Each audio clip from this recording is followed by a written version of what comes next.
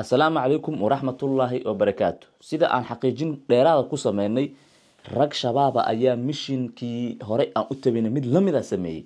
Cadeymaha telegramka ayuu ku jiraa waxyaabaha ay sameeyeen kooxdan argagixisada ah waxaa ka mid a in isku sakano iyo daqiiqado gudahood ay fuliyaan laba mishin oo dil ah.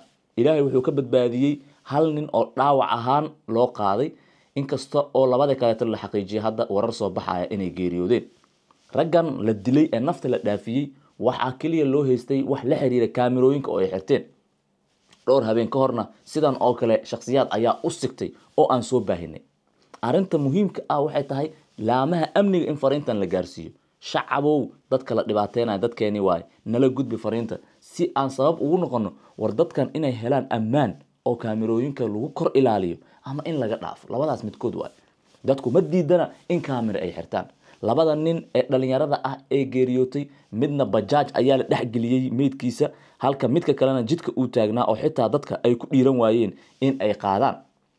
Xaalad kale oroda ayaa ka dhalatay markii mar qura laba dukaan oo kaabiga isku haaya ama deris ah oo degmada hodan ku yaalla falka dilka uu ka dhacay. Qofka saddexaad ayaa ilaa iyo hadda qaabka isagana nafta loo dhaafin rabay la fahansaneen taas oo baaristiisa hadda ay bilaabatay.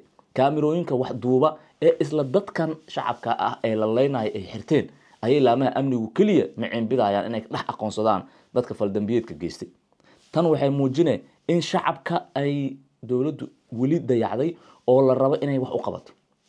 Dambiilaha kaamirada adi a xirtay laynka raadina waxay muujine daciiftinimo weyn dambiilaha waa baxsaday. Kaamiradiina rajo ka leenahayna sidoo kale waxa waaye iyadana daciiftinimo kale waay waxaa loo baahan yahay in dadka la ilaaliyo ammaankooda la sugo. Dad shacab ah ayaa isugu soo baxay goobta. Waa ku dhiiran waayeen inay soo qaadaan. Dadka nafta la dhaafiyey. Xaalkii ayaa saas adkaaday oo dadka qaarkii isbitaal in hore laga gaarsiiyo waa la awoodi waayey. Marka saddexda qofoodba waa la isla qaaday markii hore iyadoo weliba la ogyahay in laba ka mid a ay nafta ka baxday siday dadka goobjoogaa sheegayeen isbitaalka la geeyey hadda warar soo baxayan waxay leeyihiin waa geeriyoodeen si kastaba ha noqoto e waxaa arrimahan hadda baalmahan socda ee baegsiga kaamirooyinka uu tusaalooyin cadcad u noqonaa khatarta dadka shacabka ay ku jiraan. Dadkan haddaan badbaado deg deg aysan helinna waxay runtii ku sugan doonaan ama ku dhammaan doonaanba mishinadan halista ay kooxda u degeyso micnaheeda ma ahan dadka inay cabsanayaan dadka ma cabsanin waa u bareereen. Laakiin kaalintii dowladda maqan oo ahayd in dadka la ilaaliyo oo laga warqabo hadda maanta waxa degmada hodan sonankii ka dhacay wax laga sheekey kara maaha. Waxaa ka horeeyey daynil sidoo kale. Waxaa ka sii horeysay duleedka muqdisho. Waxaa ku xigtay degmo kale oo waqooyiga dhacda waa badan yihiin kiisaskan. Waxa laga qabto dadka lacagta ku qaata ee amniga qaabilsan shaqadoodii inay qabsadaan waay. Asalaamu calaykum